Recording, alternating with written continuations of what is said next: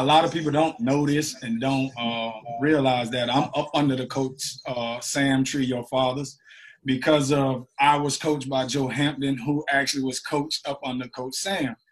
And it um, it actually dawned on me when I came to the All Star game and I was sitting in your office and you know we were hanging out and uh, you were welcome welcoming us uh, in there and I was like, well, dang, I I had so much uh, animosity against Fort Myers because you know, we rivals, and I'm like, they taught me everything I know, really, you know. And um, how was he, coach? Because I've always been on the opposite side of him, you know, never really had an opportunity to sit down and talk to him.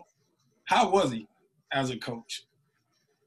Well, go, going back to Coach Hampton, you know, this will really probably me as well. You know, Coach Hampton, when he came to Fort Myers uh, from Palatka. Yes. Uh, uh, he was my freshman football coach. So Coach Hampton came to Fort Myers and uh, he left a, a, a, legendary coach in Palatka, a guy named Jimmy McCool. And him and his wife moved to Fort Myers and uh, someone told him to go over and see Coach Sam. And uh, so Coach Hampton just happened to be my freshman year. He coached freshman, and of course, it didn't take long for for Coach Sam to see what a what a jewel Coach Hampton was going to be, and he went right up to varsity. And uh, I was fortunate and blessed to coach with Coach Hampton for two years before Estero High School opened. Mm-hmm.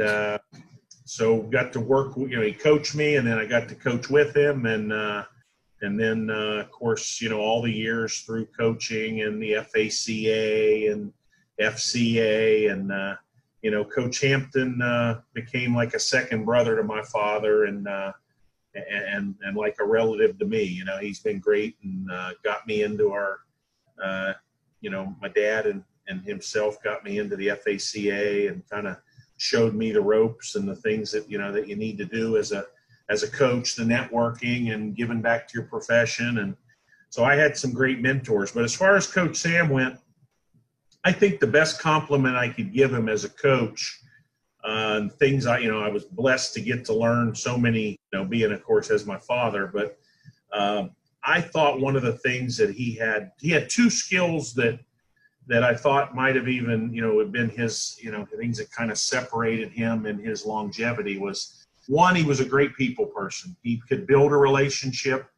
Uh, you know, he was always very, uh, you know, you know, you know, very, very forthright, honest. But he did it in a way and could and could. Uh, I saw him take a lot of kids. He could get that trust factor built in very quickly.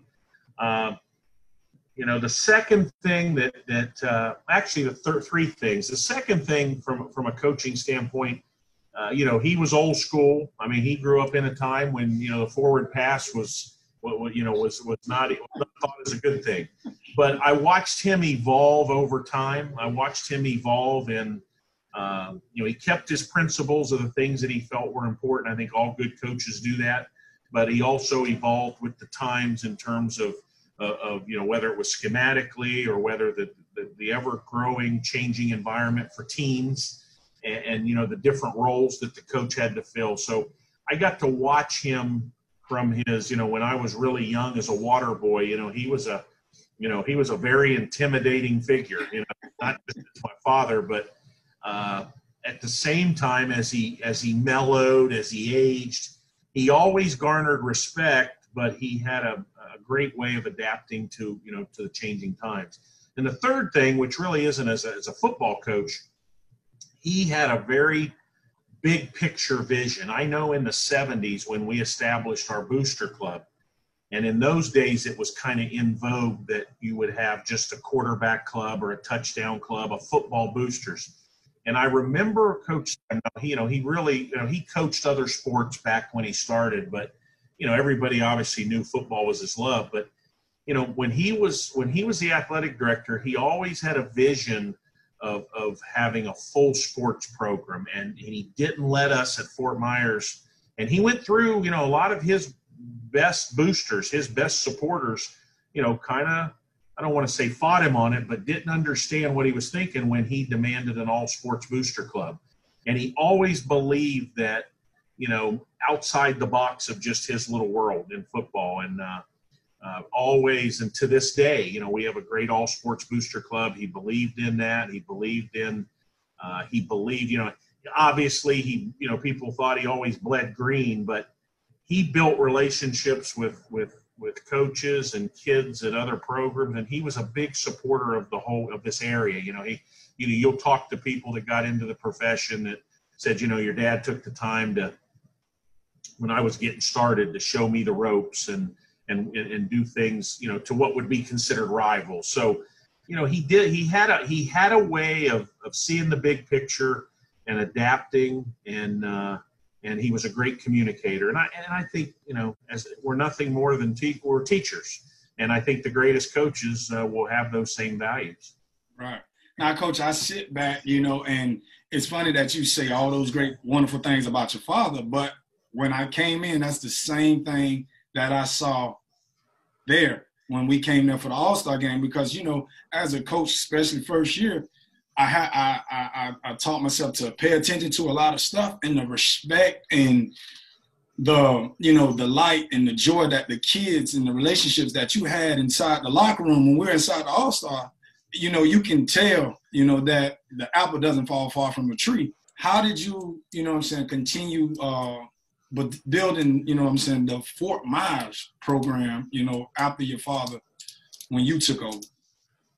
Well, first of all, you know, appreciate you know, the kind words. You know, I, I remember you as a player. You know, we had we had a lot of sleepless nights getting those are some great games. People don't realize that the Fort Myers Estero uh, rivalry, you know, it, it was very special, not just the fact that there was that five, six, seven year run where we always played last and it always mm-hmm. been, but it was very special that what I liked about it, and I've been fortunate to be through a lot of rivalries, and some, you know, become the Hatfields and the McCoys, but some have a different tone to them. And I think it was the fact, the relationship with Coach Sam and Coach Joe.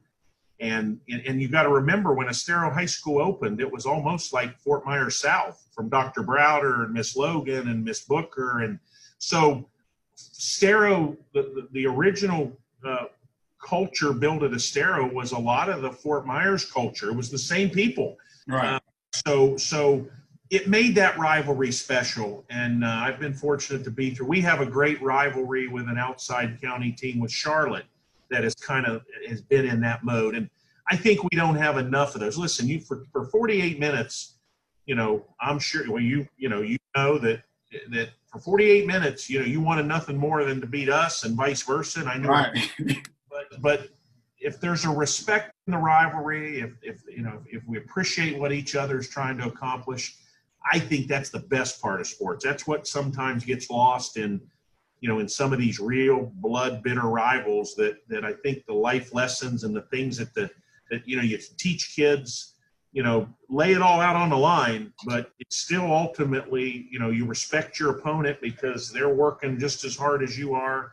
And, and, and it's easy to be on the winning side of something.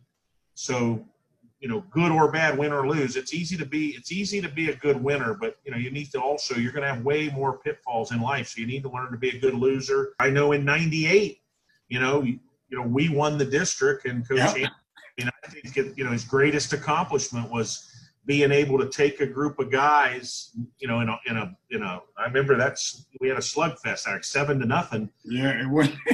or, or actually, that was the year, actually, it was the year we had. That was a three way tie.